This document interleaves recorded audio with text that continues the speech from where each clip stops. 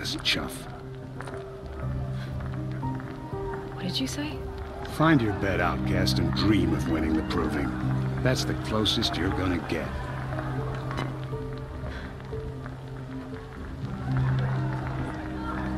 Oh, this is the bed house?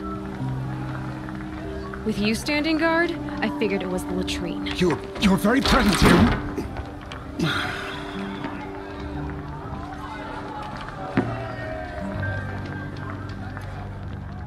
Well, well. Look who's come in from the wild. The motherless outcast. I see you've still got a scar from where that rock I threw hit you. Now that's a cherished memory. You can be a real lard sometimes, Bast. Cut it out.